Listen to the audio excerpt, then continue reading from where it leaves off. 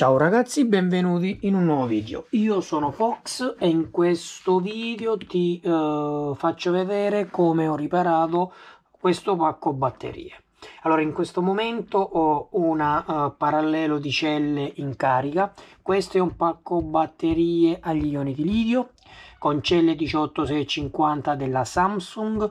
Il modello dovrebbero essere 28E, cioè da 2008 cada uno. È un pacco batterie, ragazzi, nuovo, però uh, l'ho acquistato online, uh, l'ho preso a una cifra bassissima a confronto del valore stimato, diciamo, del prodotto nuovo. Perché? Perché ragazzi il pacco batterie non funziona.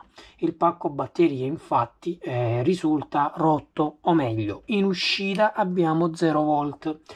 Ho fatto un'analisi iniziale per andare a capire quale possa essere il problema e in questo caso eh, l'elettronica va bene le celle eh, vanno bene però qual è il problema è che tutto il pacco batterie dalla prima all'ultima è scarichissimo. Tutte le celle sono intorno agli 0 volt. Questo vuol dire ragazzi che eh, ovviamente senza diciamo saper mettere mani potresti solo andarlo a buttare o meglio potresti andare a smontarlo recuperare le celle e se hai l'attrezzatura giusta rigenerare e riutilizzare le celle singole però io cosa voglio fare? Voglio rimettere in modo questo pacco batterie.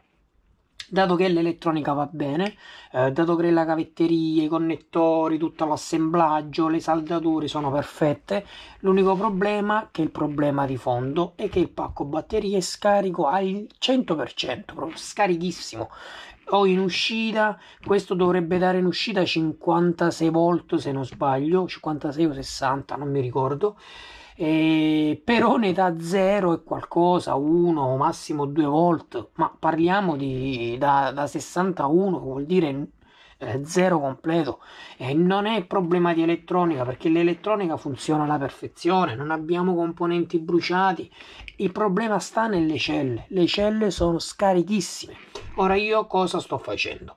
Ogni tanto do una controllata alle temperature do una controllata al mio display sto andando a ricaricare porzione per porzione perché ti spiego questo per eh, dare nuova vita un pacco batteria riparare rifarlo funzionare non sempre devi eh, cambiare devi sostituire perché tante volte ci sono delle, dei paralleli che sono scarichi avendo paralleli scarichi l'elettronica non funziona più bene. Non funzionando più bene spegne tutto. Perciò tu in uscita sul connettore non avrai tensione.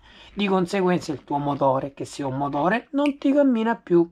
Perciò la prima cosa da fare è mm, diciamo misurare i voltaggi vari, uh, delle varie connessioni sulla BMS se vedi che tutte hanno 4 volt 3 volt 3 volt e 2 4 volt e 2 e una o due hanno 0 volt o meno di 3 volt quelle sono quelle diciamo che hanno interrotto il funzionamento cosa devi fare? Ovviamente facendo tanta attenzione ragazzi perché sono pericolosi, possono esplodere.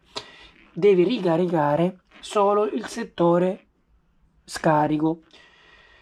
Al 99% al 90% delle volte eh, basta una semplice ricarica come quella che sto facendo io in questo momento morsetto 1 morsetto 2 già ho ricaricato questo morsetto con questo morsetto e queste stanno ora a 3 volt e 7 prima erano a 0 volt ragazzi e tutte eh, ovviamente eh, sono ora cariche ora sto facendo la stessa cosa con questo.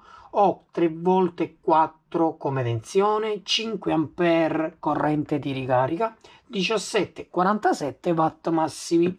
Questa io la, la, dovrò ripetere su tutti i morsetti fin quando non ho tutto il pacco batterie carico a sufficienza. Non avendo neanche il caricabatterie fatto apposta dovrò andarla a ricaricare così per il momento ragazzi niente per questo video è tutto. Mi raccomando non buttare nulla cerca di riciclare cerca di riparare. Ciao e al prossimo video